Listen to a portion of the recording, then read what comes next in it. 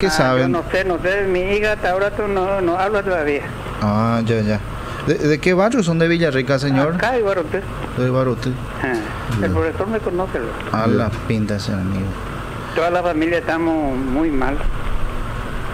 De la información no sabes si qué es lo que pasa. Sí. Si no, no, yo creo que eso tiene que ser un poco el consuelo de ustedes, ¿verdad? Que, que, que salieron bien, ¿verdad? Que están Sí. bien físicamente, ¿verdad? Exacto. La dinero mío ya recuperado, pues ya lleva, ¿verdad? Sí, pero, sí. pero, Mi, mi hija lo que dice que ahora ahora vino unos compañeros y dice que mi hija lo que fue mal- muy maltratada. a la pinta. Mm.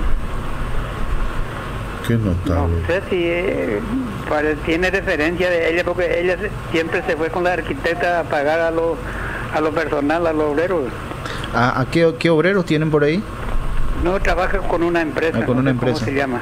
Ah, y ella llevaba dinero para pagar. Para pagar a los personales. Ah, ya.